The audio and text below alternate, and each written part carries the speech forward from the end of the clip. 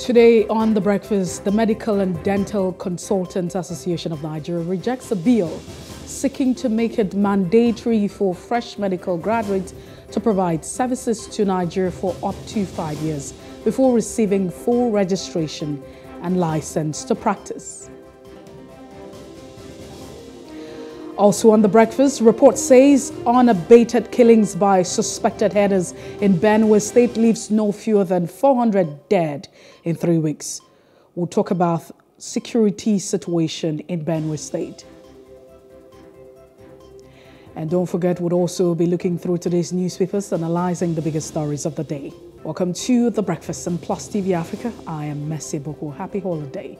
It's a happy Easter Monday and that's what it is. I hope you had a fantastic uh, celebration and do not forget the reason for the season. But as always, we probably would have started with the top trending. Sincere apologies for starting off a little bit behind schedule. We're just delving to uh, paper review this morning where we have Opunabo Inko Tariah who joins us via Zoom this morning. Inko Tariah, good morning and thank you for joining us. Happy holiday. Doesn't feel like a holiday for you and I.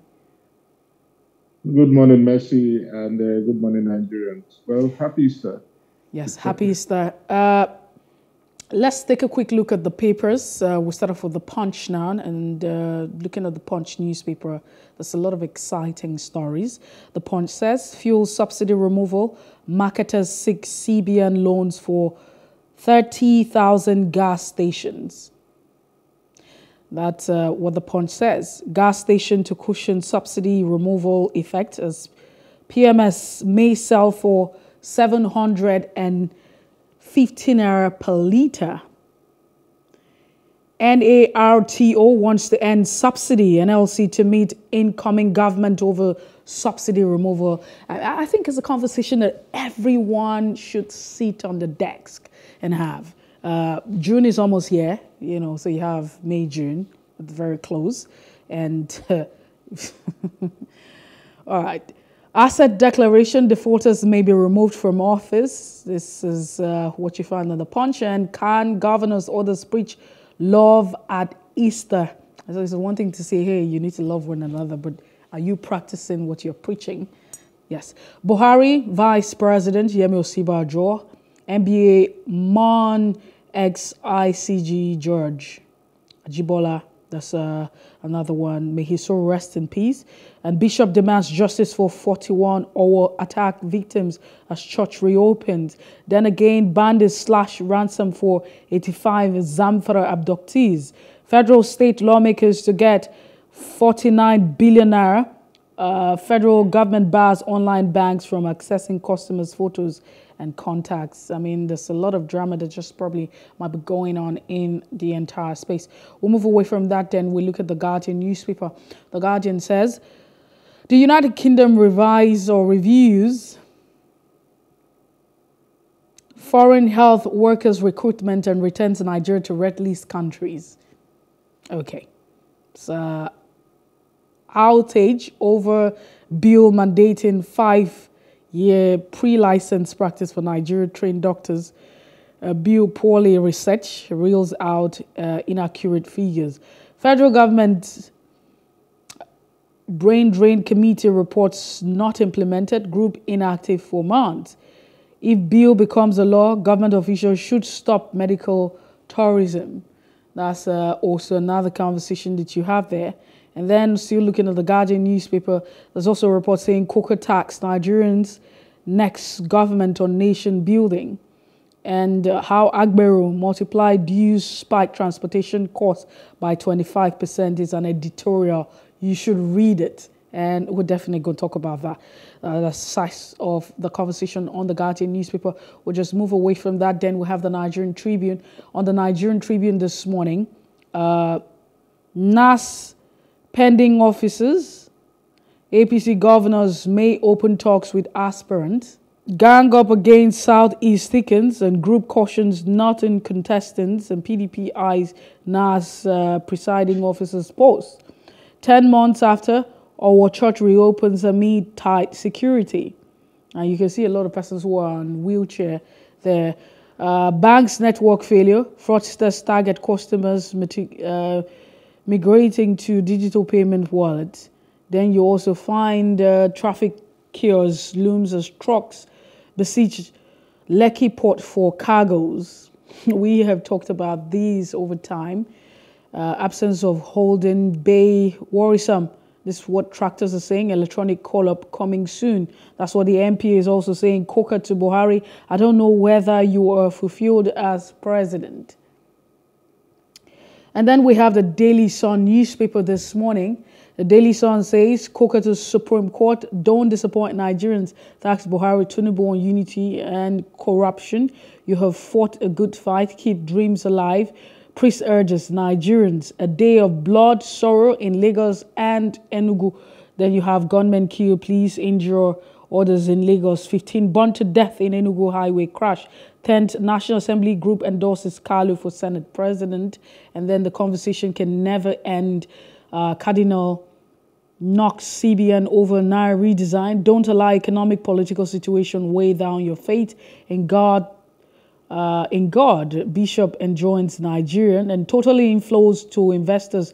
Exporters window hit 1.49 billionaire in March and Buhari Governor Kukah. Federal, Gov- Federal Executive Council orders mourn the ex-Justice Minister uh, Ajibola, who died at uh, the age of 89.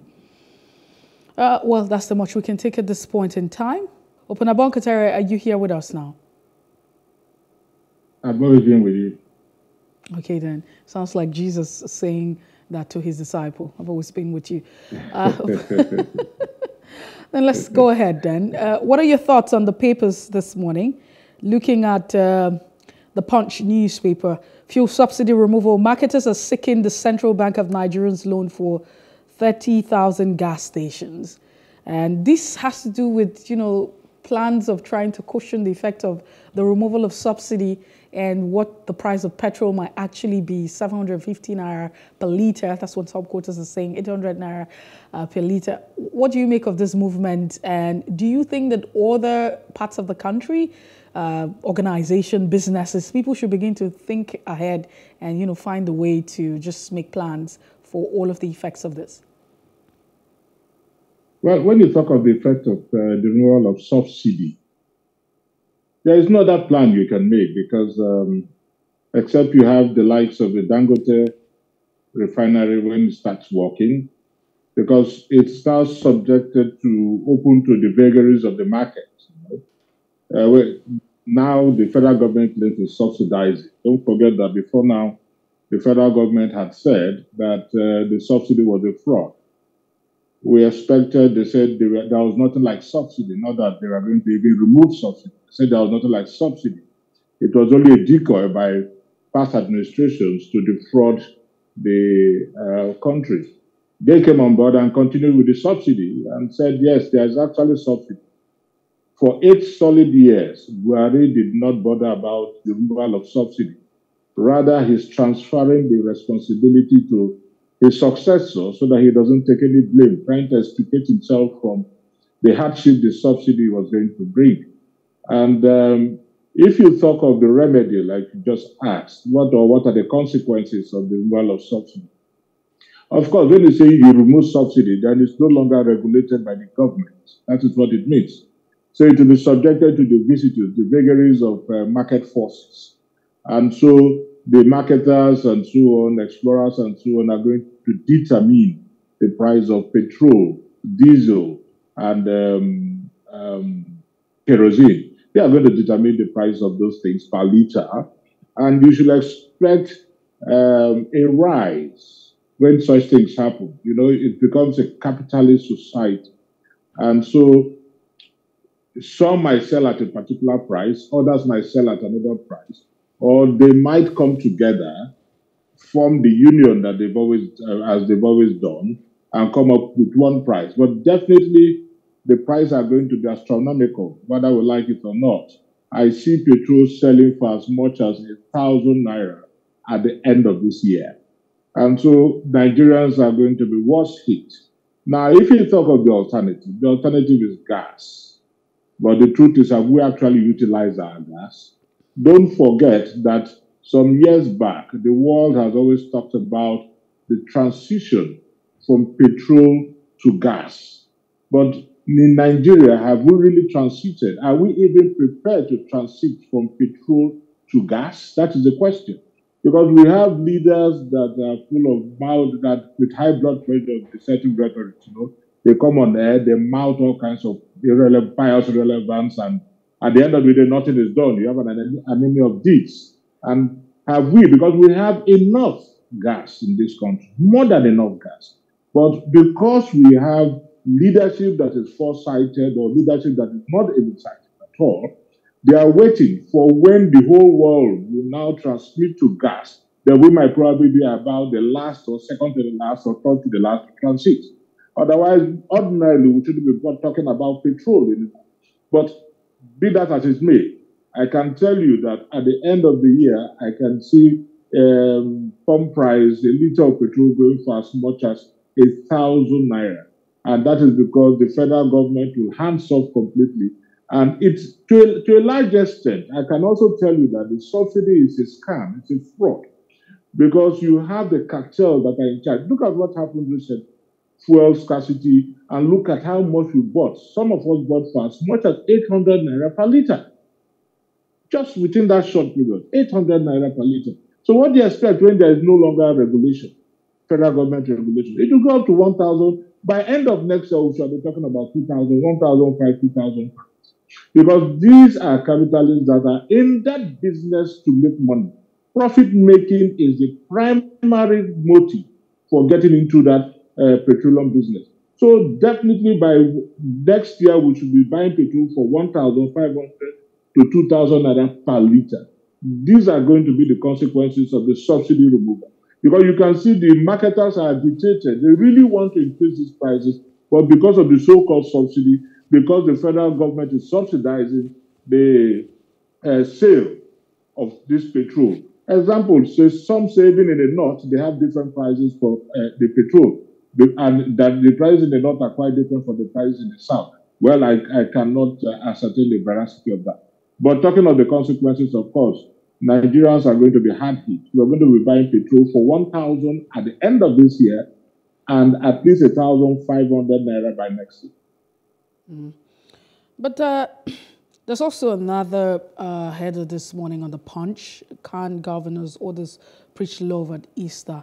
I'd like to ask you, why is it that, you know, we can be described as a country where religion is big? So you have Christianity, you have Islam, and then you have those who are traditionalists because you can't ignore them and those who, who believe in all this stuff. And then if you look at, if you want to juxtapose uh, the level of crime and criminality, it's not in connection with love that all of this religion and beliefs actually practice. What exactly is going on? You remember, um, who was that? Barry White. Barry White. Can you hear me? I can hear you. Go ahead. Barry White. Practice what you preach. You're telling me this, you're telling me that. You know that song very well. Yes, that depicts the Nigerian situation. If today there is what you call rapture, if today God decides to say it's judgment day, Nigeria will be likened to Sodom and Gomorrah.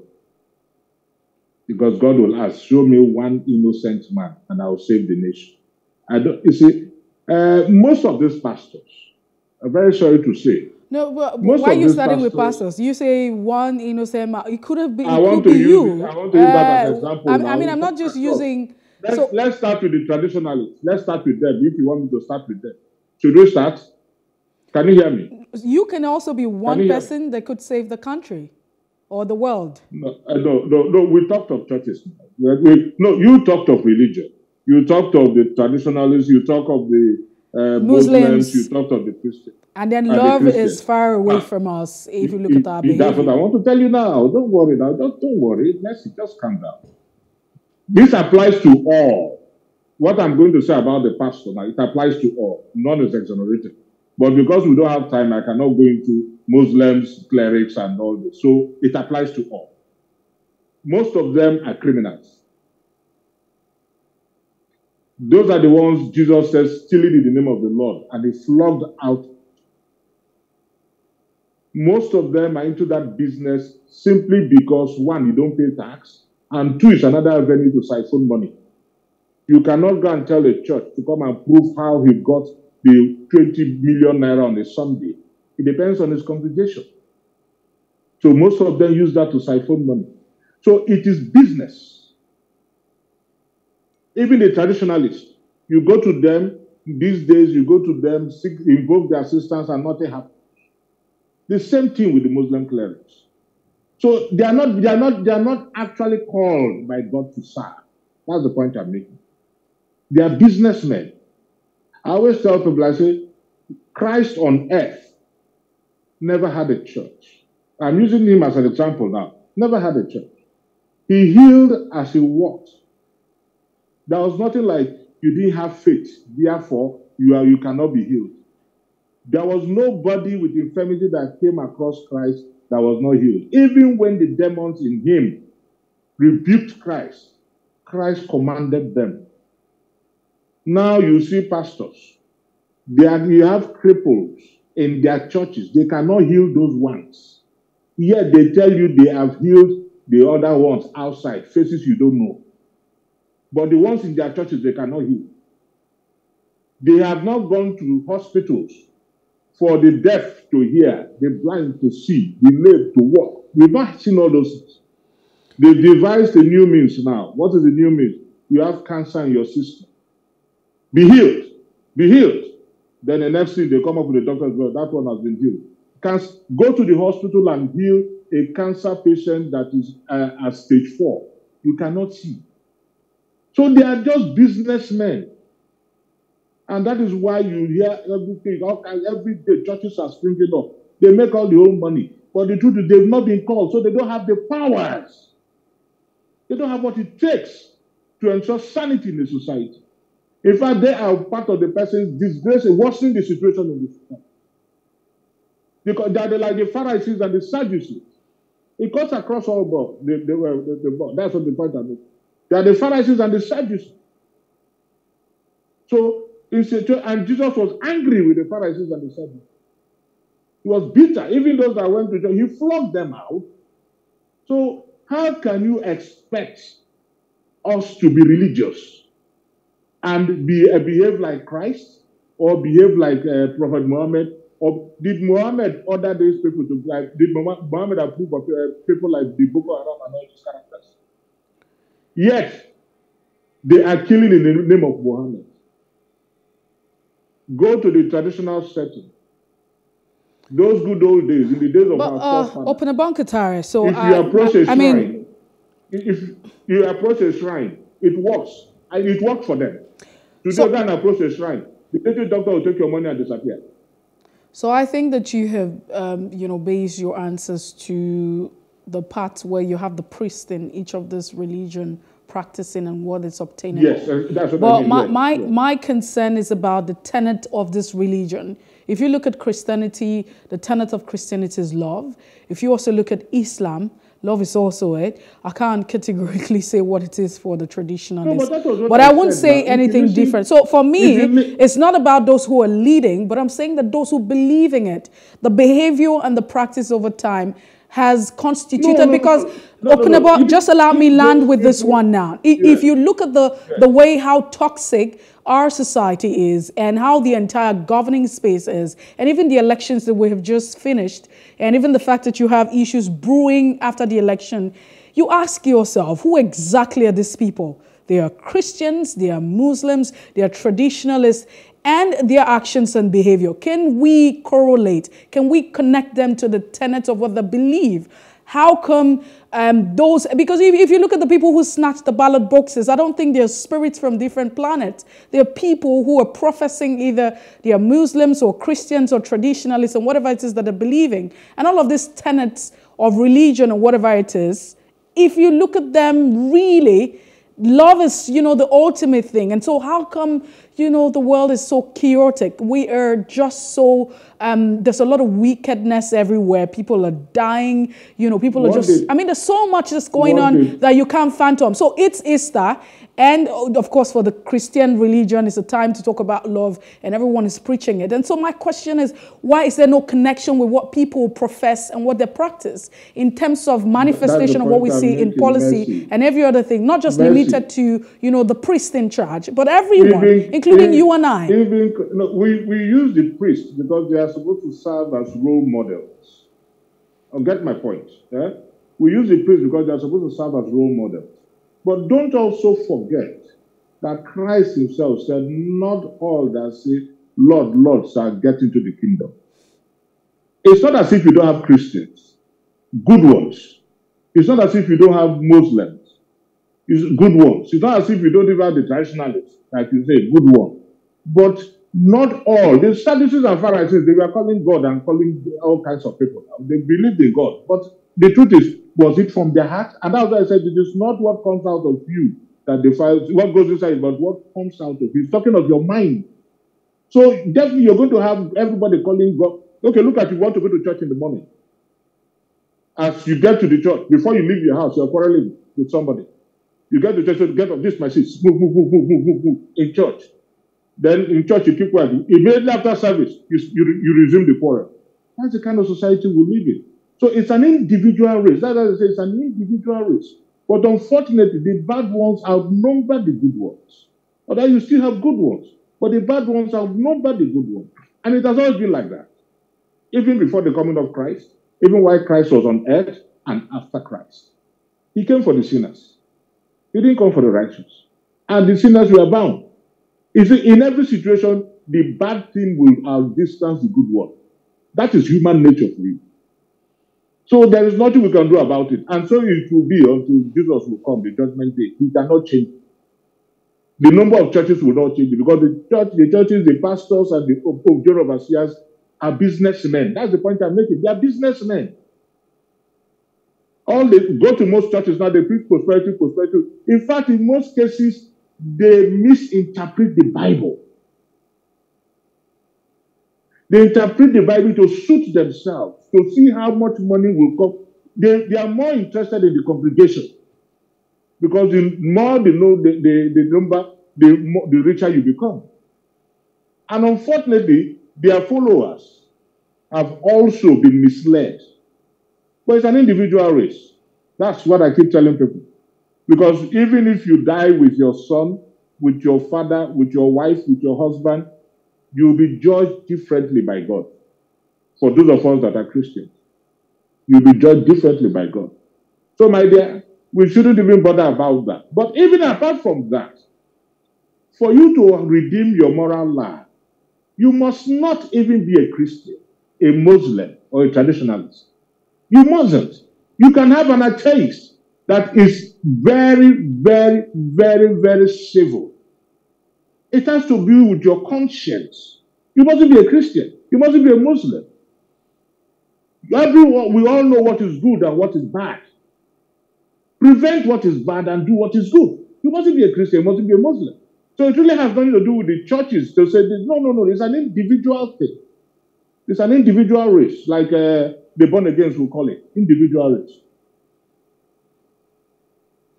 Uh, Katara, uh, this is also a very strong one. The United Kingdom has actually reviewed the foreign health workers uh, recruitment process. And however, according to the front line or the front page of the Guardian newspaper, Nigeria has been returned to red list countries. And at the time, countries that are on the red list are not supposed to be hired, even though there were reports in 2022 that, you know, the UK was still hiring from red list countries. I'd like to share your thoughts, you know, on this particular one, especially if you juxtapose that with the Japa syndrome and also, you know, the, the fact that you have medical brains moving here and there. Well, it is unfortunate. It is, it's a sad development, I must say that. Um, because when you consider the working conditions of our doctors here, most of them, when they travel out, they excel in, they excel in, in their various uh, clinics and hospitals and what have you. So it is quite sad. It's very disadvantageous to the doctors Unfortunately, in this country, even if you look at the bill, recent bill, where they said, it, I mean, uh, every new medical practitioner will have to wait for five days. That's ridiculous as it is. You know, I mean, there cannot be a crueler tyranny than that perpetrated under the shield of the law. You're trying to um, um, twist them. You want them to remain here. Meanwhile, they, they, they, they are working environment. There is no, the, the condition is not conducive. Now, back to your question. The British government probably has a reason for that.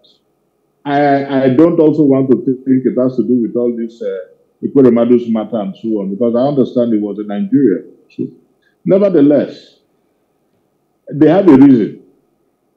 I don't, I've not read that story, and I cannot, for, for now, I mean, speak on the reason, but our doctors have performed creditably. So I can't really fathom why the British government will want to uh, put Nigeria on the red list and prevent, prevent them from moving over to the causes. Because from what we've got, if, for example, you're a medical doctor and you perform additionally, you cannot defend your certificate, you know what your onions. Of course, that should be on individual basis. But for you to do blanket one, I am surprised. But most medical doctors, even if you travel out, before you're being employed, of course, there has to be some level of examinations you have to pass. So I don't think it should be a blanket thing. But I don't have the details when it comes to that. I don't have the details. That's that's that's that's it about that. Mr. Sisi, looking at that, uh, just as we move on uh, from the paper review this morning, uh, you have uh, APC governors may open talks with aspirants. Uh, there probably might just be a lot of back and forth with all of that. I'd like to share your thoughts on it. Sorry, is it APC governors may open talks with aspirants? Yes. NAS presiding officers, APC uh, governors, uh, that's on the Nigerian Tribune, by the way. Yes. Oh, it, I mean, it's a normal thing. I mean, that the elections are, are nearly, the elections are over, although litigations are on. Um, you know, definitely there are aggrieved parties, even though they belong to the same political party, but there are aggrieved persons, and probably they want a situation where they'll smoothen out the rats. And don't also forget that. Um, positions, people will be jostling for positions and so on. So basically, I think, I mean, conflict is a function of interaction. Man cannot not from the field, but the whole essence, the most important thing is resolution of the dispute, you know, so the conflict. So I think that is what they are working on right now to see how they can have a united party, you know, and uh, based on that, we could have appointments, they could compensate you with appointments, because definitely a lot of aspirants would have been agreed. We are not talking of candidates now, you're talking of aspirants a lot of them probably would have been aggrieved, you know, and most of them would have been, threatened to maybe leave the party or something. So it is important for them to uh, judge with a view to resolving whatever the issues are. And most of them will be compensated with uh, appointments and so on. I mean, it's normal. I mean, it's normal for people to to discuss in, in, in, in the world. It's quite normal. But the important thing is the outcome of that discussion. That is what's important. So it's, it's okay. It's okay. Well, then, uh, how, how, would you also react to this particular one? The fact that uh, the National Assembly, 10th National Assembly groups are actually endorsing, or a group is endorsing Kalu for Orji Uzor Kalu for Senate President. The conversation is that, oh, we should get to the South. And then we're saying, if we look at the on, they call it, uh, it's not a gentleman's agreement, an agreement that is not constitutional if the entire polity was unable to respect that, that it should have been the turn of the South. Uh, precisely, people have said it should be the turn of the Southeast especially when you have the rotation going to the southwest and the, you know, the north at large, then it should have gone to, you know, the southeast. If that has not been respected, even at political party levels, what is the guarantee? What's the effect of having these groups endorsing uh, Senate president? And even the Senate, I mean, uh, Orji Uzor Kalu already putting out the argument for him wanting to become the Senate president. Is there any, you know, uh, logical reasoning or backing to that argument? Oh, yes. Um, you see, the presidency, uh, when you consider the office of the president, uh, most people might not want to gamble that. Even if they make you the vice president, they make you the senate president, they make you the speaker or deputy speaker of the National Assembly, your powers cannot be compared to that of the president. And so it could come as compensatory. What a lot of persons fight for is the presidential ticket, to get the president. Every other thing is second, including the vice presidential ticket is second. Like most people say, it's a spare tire. You know, well, it has some constitutional powers recently. But then, um, I'm not going to talk about Orji Uzor Kalu.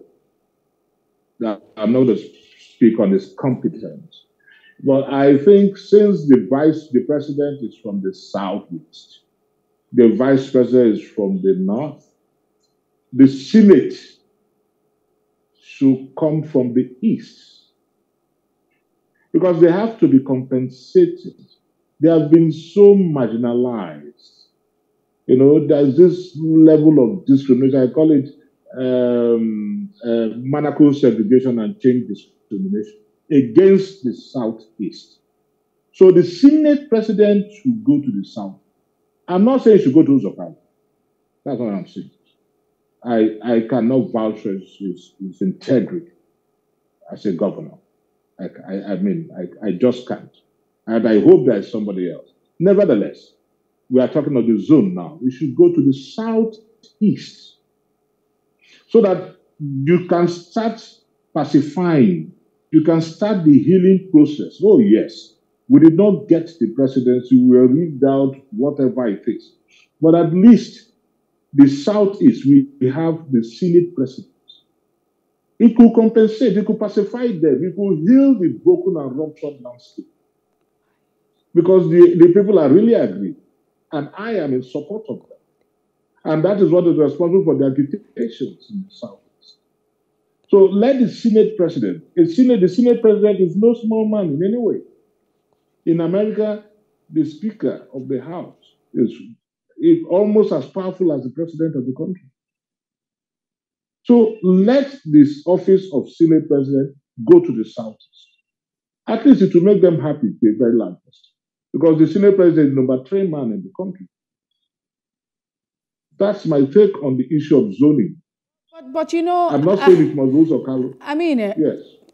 I'm just saying that let's be very, you know, rational with how things have panned out. We have made several excuses. We have given reason why that agreement that was made when you and I were not even present. I'm not sure, maybe you were there at the time, but not physically present. I wasn't this, there. Uh, you know, there. being consulted to have this sort of agreement. The point is, it has not been respected to any point. And then again, what's the rationale? Because it feels like at this point we're throwing, you know, the argument as to who, who is uh, very qualified. We, we, don't really need to think about where you're from, whether you're from a certain ethnic religion. And we have also no, this. No, no, no. No, uh, Opunabo Inko Tariah, you know that over yes. time, we have also made it look like religion and ethnicity has not influenced our polity. Meanwhile, that has always influenced, you know, who becomes the president or whatever it is in this country. But on the other hand, you're, you know, so right. far Absolutely. we have ignored it. We're making it look like, oh, it's not the point. It's not supposed to be a conversation, but this is who we are. Th that's what it is. And that has become. So why are we even talking about this one? We didn't even pay attention to the previous conversation that has been going on, even in various policies. For instance, uh, a party as, uh, you know, the PDP, the APC, the Christ, uh, the Muslim Muslim ticket, and then, you know, not having it zoned to the southwest, or so, I beg your pardon, the southeast, in the PDP. These are the conversation. And then again, uh, why should we be talking about who cares whether it goes to a certain region or not? As long as you have uh, um, a Senate president, should Orji Uzor Kalu be bothered about whether it comes to him, he goes to the east? Was he part of the entire conversation for zoning and not zoning?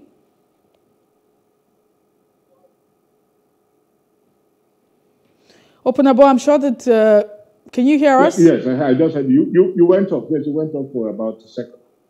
So I really don't know where you, you heard me from, but... Uh, no, no, no, it's okay. At least I, I, I can comprehend what you said. Go ahead then. Okay. Now, you see, the truth is, the major, the bane of our politics has to do with is um, a lot of people that are egocentric. You know, it, it, they don't believe in this. Not that they, they, they argue, advocate zoning when they think it's going to be in their favor. When it's not in their favor, they try to discard it. That's the problem we have in this country. and it's a lack of ideology. Now, if you talk of the elections are gone, no doubt. We were against a lot of us were against um, Muslim Muslim ticket, and you'll be living in self denial if you think that uh, these things are not important. They are, but the truth about it is that we always look for a way to circumvent.